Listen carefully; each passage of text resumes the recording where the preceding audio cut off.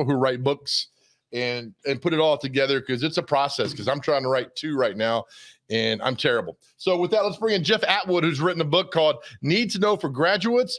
It's a very good book, and the backstory is fantastic. Jeff, good to see you, my man. Hey, good morning, Joe. How are you?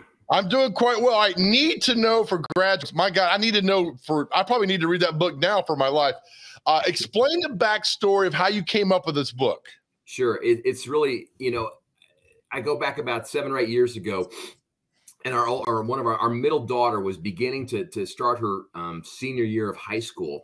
And you know, as, as a parent, you kind of get to that point where you sort of go, you know, I think I've I've taught them this and I've taught them that. I'm taught them something else. You get to the point and you sort of go, oh my gosh, this is it. This is the last, really the last go round I have with her.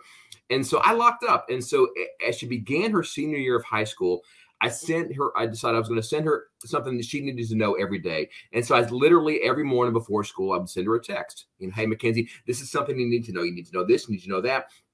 And it was really my way of trying to put a bow on parenting, right? You know, you know, parenting can be pass or fail, right? You know, are they in jail or not? Maybe. But so I wanted to make sure that she knew all these things we'd spent the last 17 years trying to tell her. And, and that, so I sort of put all that together. And then as I began to send those texts to her, I was talking to my friends and they said, you know what? I need to tell my kid that. I need to tell my kid that. And so I just began to compile all those into a book and, and we published it, um, did a self published thing a few years ago and then you know fast forward to the last couple of years and i had some opportunity to begin to, to to develop this whole series of need to know books related to just some important advice things that that we've sort of learned over you know 30 years of marriage and 25 years of parenting and 25 or 30 years in in the corporate world. Did you keep was there a sort of constant message throughout all these? Was there a, any main points you try to hit on all the time? Yeah i mean it was it's interesting and i was talking with a with a you know i say kid they're all kids right now. Right. i was talking with a young man yesterday and and and and one of the themes that's in the book that, that that has kind of been central that my girls even laugh about now is the idea of just show up opportunity follows availability. And I, I was listening to you guys talking about all the, the horoscopes and, and, you know, all this kind of stuff. And, and I think that, that so many times, you know, in life, we, we want to make, we want to have that perfect next step.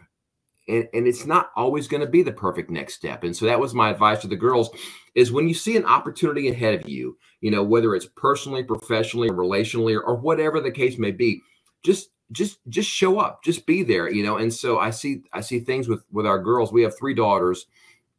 Um and, and the oldest madison is with us. She's um got a series of, of disabilities related to an illness when she was young. So she's with us but then our, our middle daughter mackenzie lives in burbank california. She's pursuing this incredible career in animation and voice acting.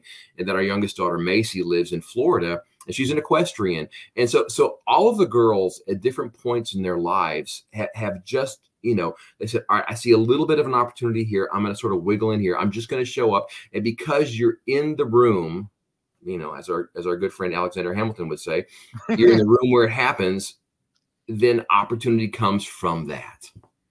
That's fantastic. All right. Have you ever seen something where you were observing from a distance and they took your advice to heart or something that you've said to them that they did like oh okay because you know i've got a son who's about to turn 16 and mm-hmm. i'm the same way jeff. I just i pound information into him and try to do make him do the right thing. And every once in a while you wonder if you're doing the right thing and then he'll do something you're like my god he did listen to me. It's amazing isn't it? Yeah you look back and, and you go oh all this time that I've been pouring into him, all this this emotional thing that's been so important to me, you sort of go, you heard that. That you heard that. That was, you know, and so I mean, there exactly, and and then just show up is, is is, truly part of that. You know, I I, I see opportunities, um, you know, for my daughter who's Macy, who's, who's an equestrian. She she's in Florida, so she's riding and training these really cool horses, and and I see that the opportunities that she has because she showed up early she was the first one in the barn, or because she went that extra step. And, and it's, it's so fun to see their careers develop. You know, now, you know, our girls are a little bit older than, than, than your son, but as our girls are now into their careers, you, you know, you you want them to do that. I, I, was I was talking with a friend the other day, and he said, you know, why do you, you know, why are you writing all these advice books? You know, you're You know, there's you know you can't go to college to say I'm going to be an advice book writer or anything like that. It, it's just it's just it's just literally. I said I think I think at the end of the day, we as human beings, you, me, the intern, everybody, we want you know people to win in life, right? Except for maybe the Baltimore Ravens. We don't want the Baltimore Ravens to win. but, but everybody else, you want to win, you want to be successful, and so, um, you know, you know, you and I are probably of the same generation, early 30s, right? And so yeah. we we get to our we get to this point in our lives where for for years and years and years, grandparents would have a tremendous impact in their grandchildren's lives, right? You know, and, and oral history was a big part of that. Some of that's changed because of distance, and some of that's changed because of the communication and the internet and all this kind of stuff. And so I just wanted to be intentional about things that I thought were important, you know, and I think that's important um, for for kids, for parents, for for spouses.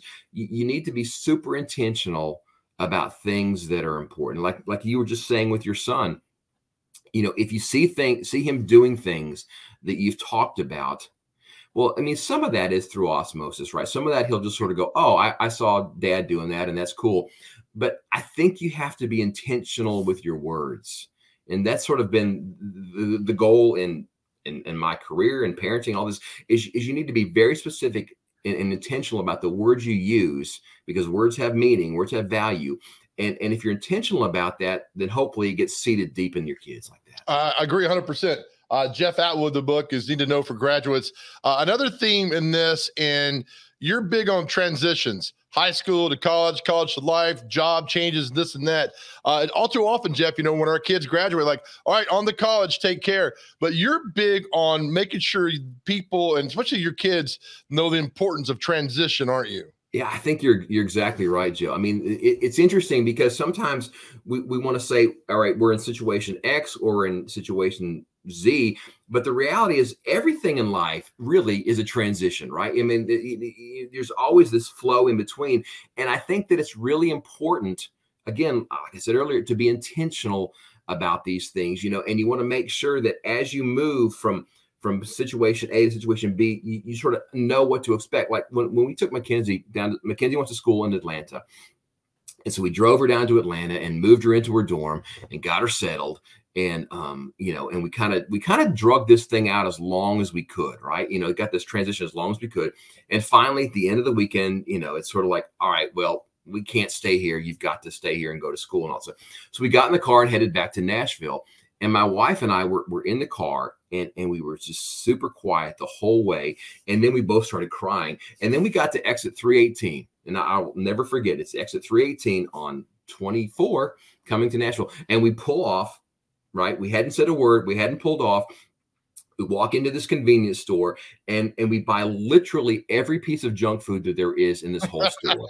I mean, we we bought ho hos and beef jerky and ices and little donuts and all the stuff you would you would I mean you buy a little bit of that on a road trip right but not the I mean we literally and we both she went to one side of the store I went to the other side of the store and we showed up at the front with like this giant arm of stuff and it was like oh my gosh this is a huge transition in our life.